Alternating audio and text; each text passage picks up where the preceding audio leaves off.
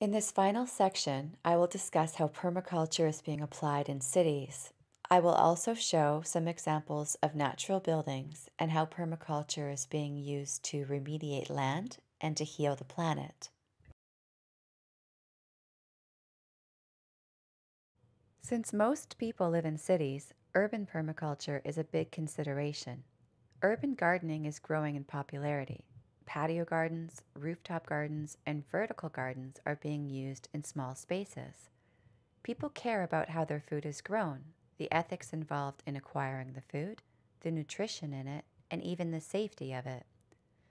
There's also a realization that we are dependent upon specialized and delicate networks to bring food into cities. Fostering some self reliance is smart in the event the system breaks down for any reason. This falls into the permaculture principle about planning for resiliency. Did you know about 50% of the food in Russia comes from the small country gardens, which total about 7% of their land? Community food forests are starting to pop up now. There's one in Seattle and one in Edmonton. Some people are addressing food deserts, which are areas where only fast food can be found in some poor inner cities. So, bus stop veggie stands are popping up, and mobile carts are bringing fresh produce in from neighboring farmers. Laws are being changed. In many urban locations, vegetable gardens were not allowed for many years. Neither were community gathering areas on public property. Natural and sustainable building design is considered in urban permaculture. Straw, bale, and cob buildings provide insulation values that are two to three times that of commercial fiberglass. If you want to learn more about ways permaculture can be applied to the city, I recommend Toby Hemenway's book, The Permaculture City. This is an Earthship home, which is an autonomous, off grid earthen home that utilizes solar and wind power. It also recycles gray water and even treats black water sewage to use in plantings. The founder of Earthship Homes is Michael Reynolds. This is the most basic Earthship design. It's called the Simple Survival. They sell designs and they teach courses and they also do a lot of work in impoverished areas, building schools and community buildings.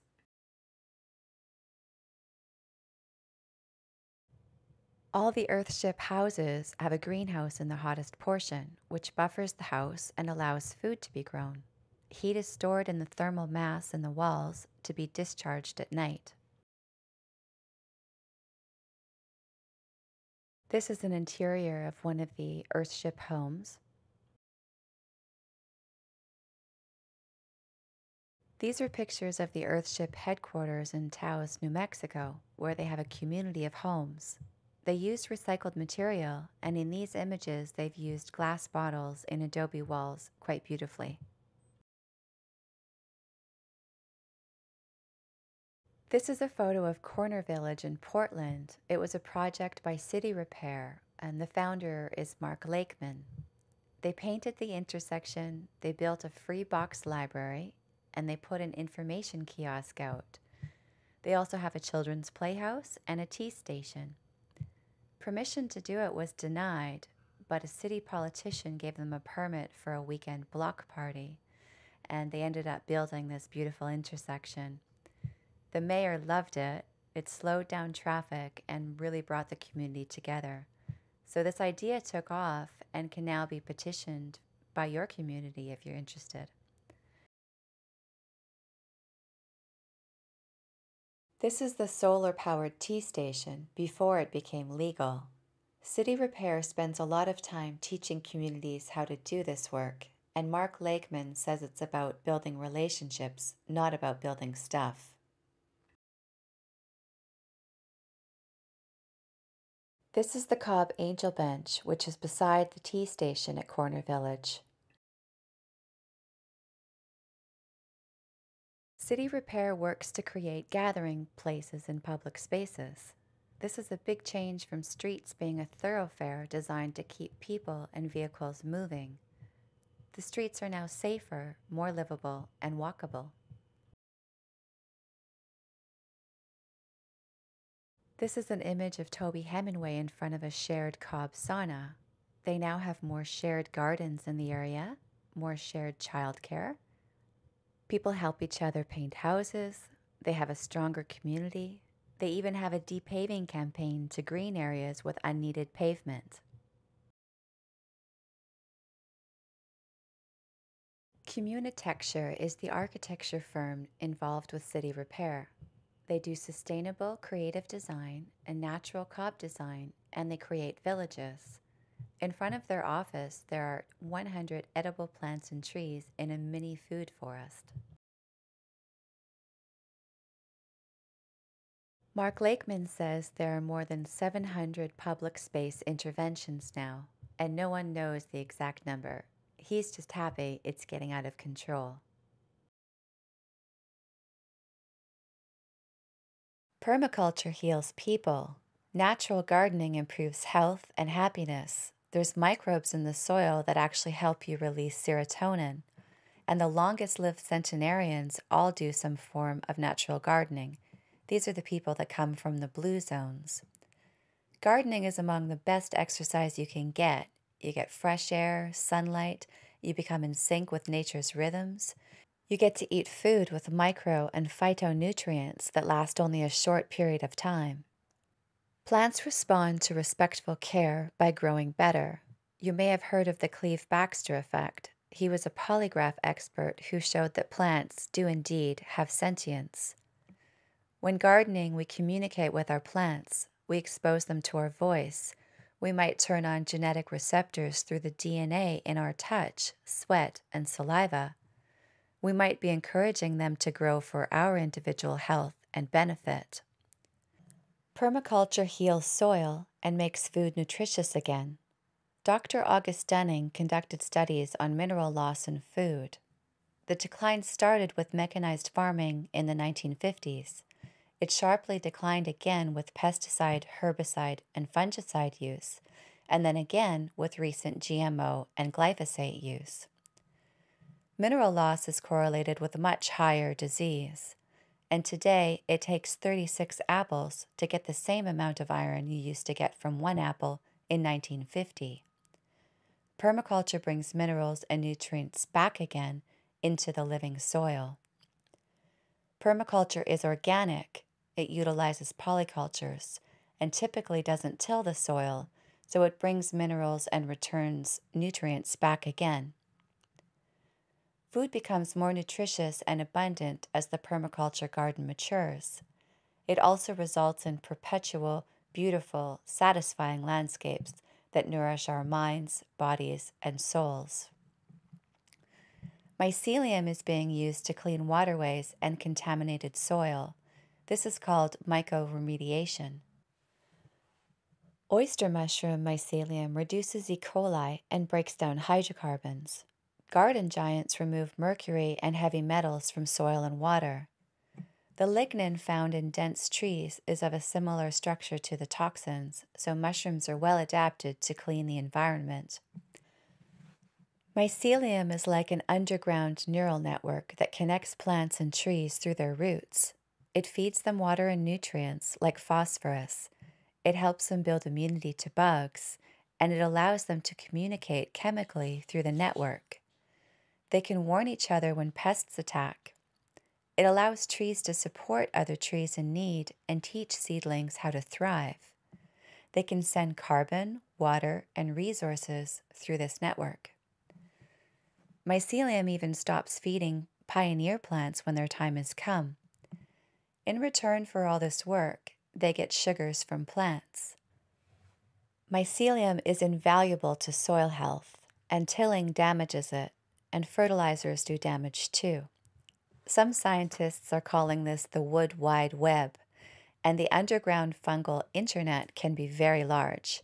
In fact, the largest living species on the planet is a honey fungus in Oregon, which is 2.4 miles across Paul Stamets wrote a very interesting book called Mycelium Running How Mushrooms Can Save the World. Plants can also be used to clean the environment, and this is called phytoremediation.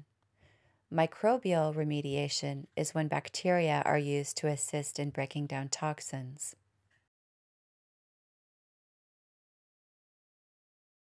This project, Healing the Cut, Bridging the Gap, was a project by Oliver Kellhammer, who is a knowledgeable permaculture instructor who also teaches at Parsons School of Design.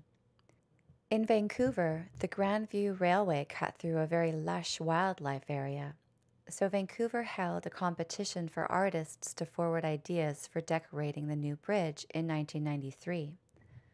Oliver and Janice Bowley made a proposal to reforest the area and create a viewing platform for ecological restoration to be viewed from the bridge. They won the competition but couldn't start for several years. There were legal issues to iron out as it was an artistic and therefore copyrightable project. They wanted to pursue the intellectual property status so the forest would be protected as art. The image on the right shows what the forest looked like after it started to grow in. On the top left is an image of Oliver using willow and cottonwood cuttings, and they were just laid onto the soil and allowed to reroot. They also used bioengineering dam structures shown in the bottom left, where cuttings were staked in areas where water flowed and it dammed and slowed the erosion and built the soil into plant forms. The bottom right shows the willow three months after planting, and the upper right shows nest boxes that were built for chickadees and swallows. They fertilized the area and brought in seeds that sprouted native plants. Reversing desertification is another area where permaculture is being applied such as the Greening the Desert project by Geoff Lawton. This is in Jaffa in the Dead Sea Valley of Jordan. It's a one acre plot where Geoff and a crew of interns created a food forest, education center, and experimental permaculture plot. They built walls to collect silt during floods, they built swales, and they recycle gray water, they conserve the scarce water and nutrients in the built up fertile soil. They created cooling microclimates to protect tender crops from the desert heat. They used composting toilets, chicken tractors, worm composting, and foraging ducks. There's a lot of success in the area, and the compost worms are being shared. Here's a picture of the chickens enjoying the shaded area under the canopy. Permaculture often integrates domestic animals. It places them on the land, as nature intended. Unlike in modern factory farms, the animals remain healthy and the land becomes enriched by their presence. They can carry out their health giving symbiotic relationship. Wild animals are not excluded there is always an area left in the natural state in a permaculture plot.